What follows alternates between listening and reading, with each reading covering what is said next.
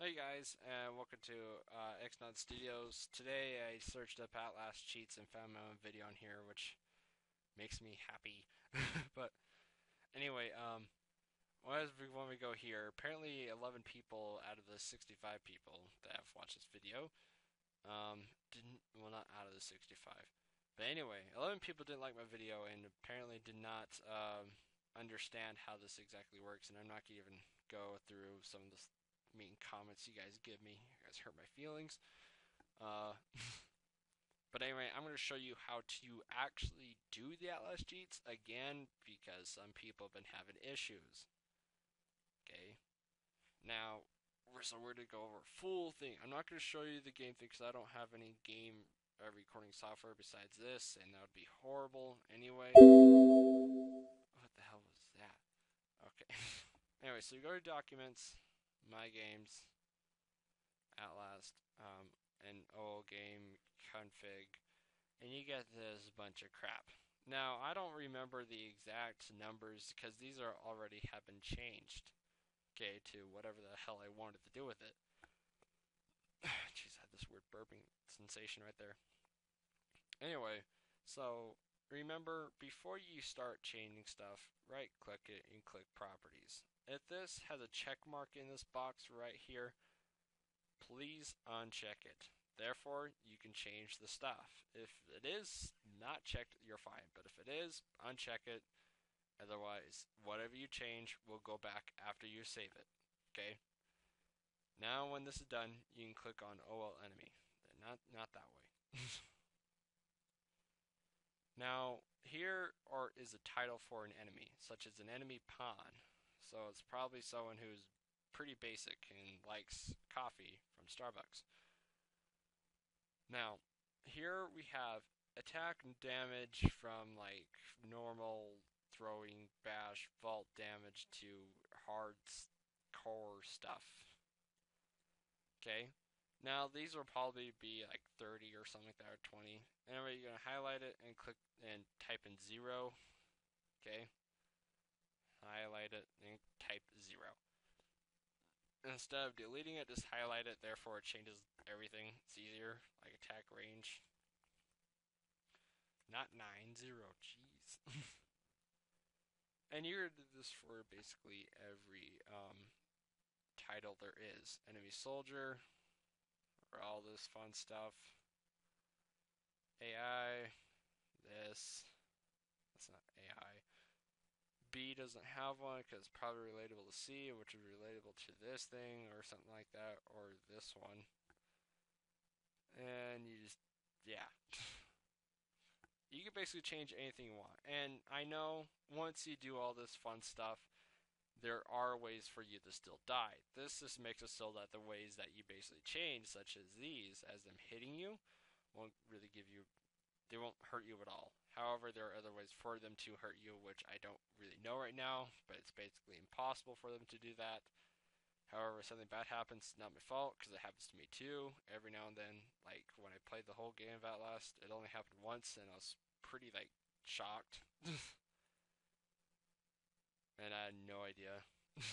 uh, anyway, so the next thing to do is game. Now, here's where the fun stuff comes in.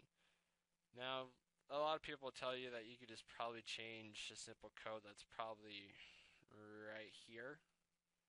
Uh, cheat manager. Yeah, see, this doesn't do anything. I mean, it may, but I tried it and nothing, no, nothing happened at all. So, in the OL or Outlast game hero, which is you, shadow class female lost cam. Ha ha ha. Uh. All right. Okay. Anyway, you can change basically anything from normal walking to infinite amount of batteries to your FOV being totally inverted when you run. Which to do that, you press 190, which will invert your 180 degrees of view, which is completely behind you.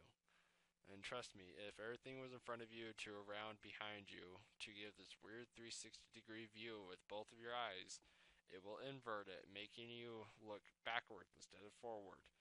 I know it's really hard to understand right now, but do it. It's freaking awesome. also, your character doesn't have a head when you do that. Seriously, if you do like 185, your camera goes straight up when you look down. Your head's decapitated. You should try it. anyway, you can change your jump clearance to that, which makes you do stuff. I don't really know, but make everything just super high. if make it'll make you do some pretty cool stuff. Uh, blur distance, say, give it a two because that's probably bad. um, but you can do crouch loudness for them to hear you, which you could change this to zero, which makes the game easier for you. Ring loudness should be zero. They'll never notice you. You probably there's a visibility thing on you somewhere. Uh, number blade footsteps. You can make this for the infinite amount of game. Man, you could do pretty much anything. You can make all these zero, and everything will look good for you. okay? Now, in all player controller, you'll find the default number of batteries and maximum amount of batteries. Your default should be 2, and your maximum should be about 10. Okay, so it'll always be like 02 slash 10, as in you have 10 out of, you have 2 out of 10 batteries. You can change these two to 99, and this one to 88, and this one should be 992. Okay, for those who are hardcore gamers, yet still put cheats on there. I have no idea what this does, or anything beyond that. To, to make your batteries last forever, and da da da da. We're just gonna do this fast way. Control F, battery. Never mind. uh, batter.